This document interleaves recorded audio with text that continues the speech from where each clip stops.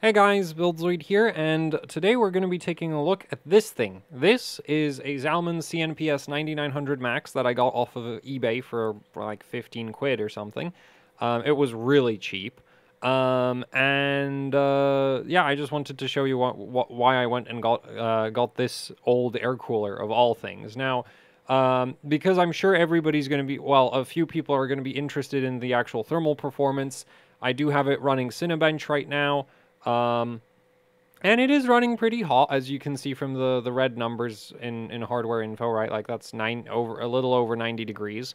Um, well, there's one core hitting 95, but um, now so it's running quite hot. But the thing is, the the room temperature right now is I'm just gonna point this at the desk.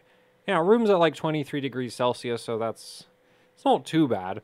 Um, especially considering that I'm not running this at like like it is just five gigahertz, but I'm not running this at like minimized voltages or anything. So the the CPU core voltage right now and the power draw is actually quite high. Um, yeah, we're looking at like 260, 200. Actually, let's reset that. And and just watch the average power draw, and as you can see, it's like 260 plus watts, um, and that's at like 1.28 volts. So yeah, it's really not doing a bad job considering how hot the CPU, like how much power the CPU is pulling. It's really not doing a bad job in my opinion. Like when I was when when I bought this, I wasn't expecting to get 220 uh, like I was expecting to get like 200 watts of cooling capacity out of it. I wasn't expecting to get 260. So that's that's nice. That's that's a lot more cooling capacity than I I, I thought I was paying for. Um, um, so that's a nice surprise. Now, the fan that I have in there is not stock. Um, the stock fan that this comes with is some like 135 millimeter no, frameless thing. Um, I don't believe in frameless fans. I mean, why? Like the whole point of a like, because if you have a frameless fan, it's gonna just chuck air all over the air, like out the sides, everywhere, and it's just like, well, but we're trying to cool the fin stack right? Like the, the whole point of the fan is to cool the fin stack, not the GPU, not the VRM, the fin stack. So yeah, I've swapped the fan with a 120 millimeter Cooler Master. I believe it's an air balance fan. I don't know what it's called. It Goes up to two and a half thousand RPM, so it moves quite a lot of air and uh, is a bit loud in my opinion, but um, totally acceptable for a test bench heatsink like this. So anyway, that's kind of the kind of the cooling performance. Um, and as I said, like this is not the reason I got it. Like the the the like I'm surprised that it can deal with 260 watts. Uh, yes, it's a two and a half thousand RPM fan, but the I'm still surprised that it can deal with 260 watts. Um, I would the the the reason I got this is not the cooling capacity. No, no, no. The reason I got this, um, other than the fact that it is a pretty funky looking heatsink and well, I, I do have a thing for funky looking hardware, um, is that it is super convenient for test bench applications. So the fan that I have in there is just sitting there. So we can just pull that out. Ta-da. And the heatsink is also just sitting there. As you can probably tell from the fact that like it wobbles around. But notice I cannot rotate it like completely on the socket. And the reason for that is, is because while it doesn't really have any mounting hardware, it does have a few screws. And those screws make certain that it doesn't slide off the CPU, even if it's being only held in place by gravity. Um, which admittedly isn't really that much considering this heatsink is, I think, about 750 grams or something. I, I don't know if that's with a fan or without a fan. With the fan that I've shoved in there, it's probably a bit heavier than that. Um, I would have really preferred if this came in like a one kilogram variant or a 1.2 kilogram variant, you know, just to get some extra mounting pressure on the on the CPU. But the thing is, it's super ridiculously easy to well uninstall and install on on a test bench, and unlike what I've done in the past with sometimes though, I, I can't do it without looking at it, so I'll have to I'll put it on and then then we'll keep talking about it.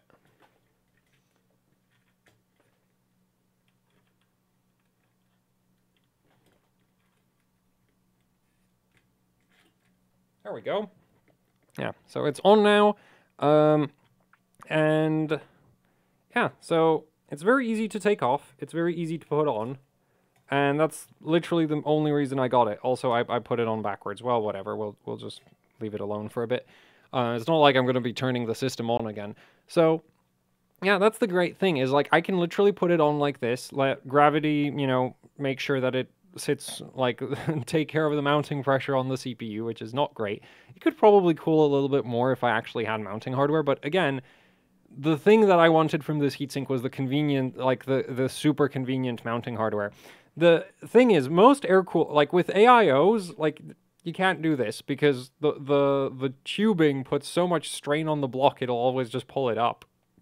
So with an AIO, there's not really any practical way of achieving something like this. Also, AIOs take up desk space, right? They need to go somewhere. The radiator's big, so that's annoying. Um, most other air coolers do not have that uh, cross, don't have the cross mounting on the on the top top part of the cooler. Most air coolers use a backplate system, and then they have like a, a sort of H pattern um, setup where you have two bars going across the socket, well, across the, the mounting holes like this, and then there's a bar that goes down the center of the heatsink across the heatsink, um, and that actually attaches the heatsink to the motherboard. The problem with the sort of H bracket style heatsinks is that, well, you do need the backplate, or you mostly need the backplate because you, you don't get this option of just sort of uh, attaching like M3, uh, like th- those are relatively long M3 screws that just go through the motherboard, and their job is to just make sure that the heatsink can't slide off the off the CPU because the the problem normally with gravity mounting heatsinks like this. Um, and, and that's just like that's not like that's a common term that overclockers use when because I'm not the first person to come up with the idea of just sitting a heatsink on top of a CPU and hoping that it doesn't slide off. No, that's actually a very popular thing. I've seen people have like you know, put like a Noctua NHD15 or an NHD14 on a CPU and then like stack books on top of it to, to get extra mounting pressure because sometimes you're binning CPUs or you're you're testing different motherboards and, and you you want to be able to swap CPUs or motherboards very, very quickly. And mounting hardware, like full blown, you know, complicated mounting hardware gets in the way of doing that because most of like the biggest problem is like you need to take the backplate on and off the motherboards, right? Which gets really annoying. And the same goes for AIOs, is just like you do need mounting hardware with an AIO. With this, I just need gravity. Um, and, and so that's why I picked up one of these uh, on, on eBay because, yeah, I'm, I'm not sure if there's any other heatsinks with a similar, like, mounting style. I, I think there's a Be Quiet heatsink that might actually be able to pull this off as well. Um, or maybe a couple of Be Quiet heatsinks that might be able to pull this off. But basically, like, I know, like, because I have a big Phanteks uh, heatsink. I've worked with Noctua heatsinks. I don't really have any. Well, no, I've worked with an NHD14, but, like, I don't have one. Um, and the the Noctua I have is for Threadripper, so you know can't can't can't use that on Intel. Um, or not on like not the way I want to anyway. But yeah, like NHD 14 mounting hardware would doesn't doesn't really do this. Uh, the PHTC 14PE uh, from Phanteks that I have is just like I believe that's mostly a copy of the Noctua mounting hardware, so that also doesn't like you, you can't do that with this. Uh, I mean, you can't do this with that. Um, so yeah, and so most air coolers like they, they just don't have the, the, the style of mounting hardware to, to pull this off, and this one does, which is why I have one now. Um, so yeah, um, there. I have a Zalman CNPS uh, 9900 Max because I'm too lazy to to undo a few bolts every time I want to swap CPUs. Um, Actually, the bigger problem is the whole swap a motherboard. Like the, the whole pulling the back, like taking the backplate off and then putting it onto another motherboard is just so annoying. The number of times where I'm like, oh, I'm just going to quickly test something. And then I realize, wait a minute, where is the mounting hardware for the AIO? And it's like, oh, I, I left it on one of the other motherboards. And I think there, like, there's been a couple occasions where I'd have to like dig through my stack of motherboards to find the motherboard that has, still has the mounting hardware like installed on it. And it's just like, never have to deal with that again with this. Um, admittedly, this won't do like high CPU workloads. Like if, if I was running an AIO, we could easily shove over 300 watts into that 11900K and it would be just fine. Um, well, just fine. We could do that though. With this, we can't. Like we really can't. Um, so yeah, it's, it's not a replacement in terms of cooling capacity, but the main reason I got this is like for me personally, it's like memory testing, uh, you know, and that's the main thing is like memory testing because memory testing a lot of the time requires that you know, like I like I, I find do something on one motherboard and then I go like, oh, I wonder if this works on another motherboard, and that is like ah, and, and, a lot of the time I won't won't end up doing like that test because it's just like, but I don't feel like undoing the AIO mounting hardware, so uh, yeah, um, there.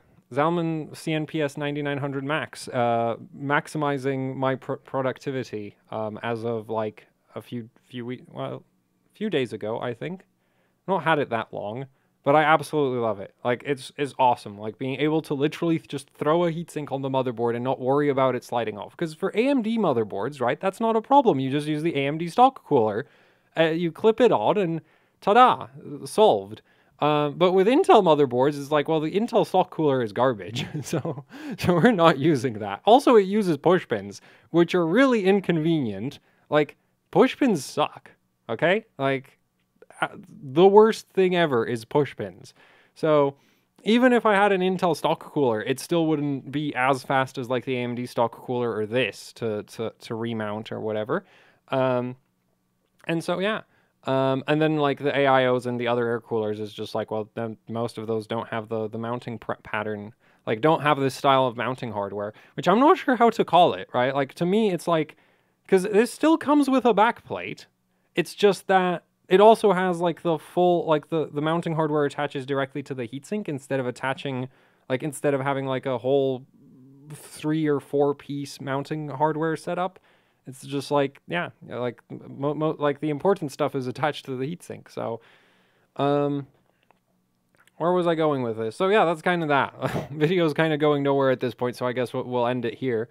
Um, and yeah, if, if, you were well, I guess if you were considering a heatsink for for similar applications, like let's say you're binning Intel CPUs or something. And actually, if if you are considering it, um, it's worth noting this will actually go on X79 and X58 and X99 and X299 because I do have M2, I mean M3. Uh, the the screws on it are M3 thread, so they'll actually thread right through a X9. Well.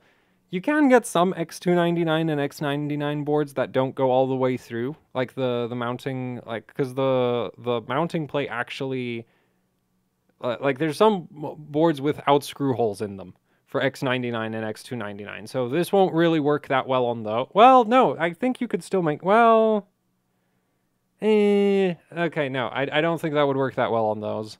Um, but if you do have X99 or X299 boards where you do have like the, the holes go all the way through the board, um, you can still just throw this on because those are threaded in M4. Um, whereas I'm using M3 hardware, and M3 is so much smaller than M4 that it'll just go straight through. Um, like it'll snag a bit, but it like you don't have to like screw it in or anything. It's it's not like it's not like trying to get uh, what is it? I think think it's six thirty seconds or something.